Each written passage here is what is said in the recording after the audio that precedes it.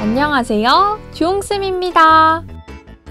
LED를 마음대로 켜고 끄기 위해서 회로에 스위치를 연결해 보겠습니다.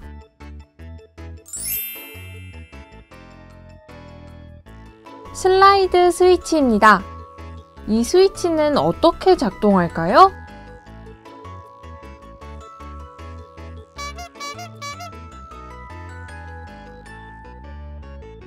이 스위치를 사용해서 LED를 켜고 끄려면 어떻게 해야 할까요? 영상을 더 보기 전에 함께 생각해 볼까요?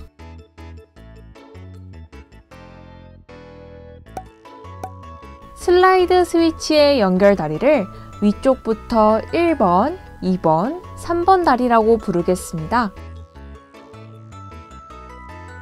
슬라이드 스위치는 각각의 다리가 브레드보드에 서로 다른 줄에 있도록 연결합니다. No. 건전지의 플러스 극과 연결된 전선을 브레드보드의 빨간색 옆줄에 꼽습니다. 마이너스 극은 바로 옆에 검정색이나 파란색 줄에 꼽습니다. 빨간색 옆줄에 있는 구멍 한 개와 다른 가로줄에 구멍 한 개를 연결합니다. 연결한 가로줄의 다른 구멍에 스위치의 3번 다리를 꼽습니다.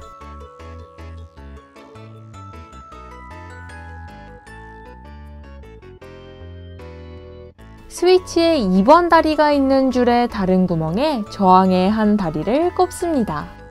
나머지 다리는 다른 줄에 연결해요. 나머지 다리를 연결한 줄에 점퍼선을 꽂고 마음에 드는 줄과 연결합니다. 연결한 줄의 다른 구멍에 LED의 플러스 극인 긴 다리를 꽂고 마이너스 극인 짧은 다리는 또 다른 줄의 한 구멍에 꽂아줍니다. 마이너스 극을 꽂은 줄의 구멍 한 개를 파란색 옆줄과 연결합니다. 스위치를 위쪽으로 밀면 1번, 2번 다리가 연결되어 전기가 LED에 전달되지 않습니다.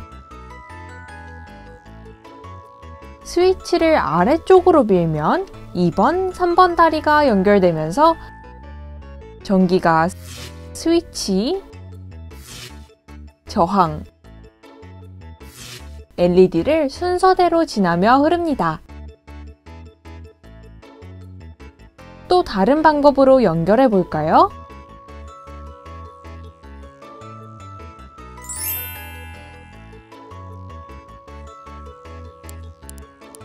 푸시 스위치입니다. 버튼을 누르면 어느 부분이 연결될까요?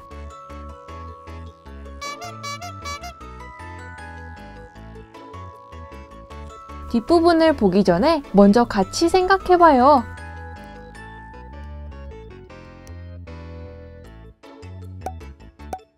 스위치의 각각의 연결다리를 왼쪽 위부터 1번, 2번, 3번, 4번 다리라고 부르겠습니다. 푸시 스위치는 이렇게 각각의 다리가 서로 다른 줄에 있거나 1번, 3번, 2번, 4번 다리가 같은 줄에 있도록 연결합니다.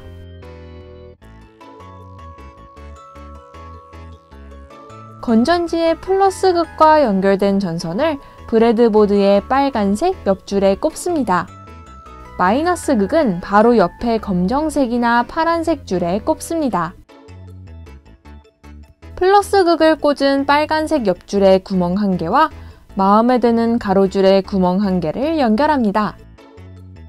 연결한 가로줄의 다른 구멍에 스위치의 2번 다리가 오도록 꼽습니다.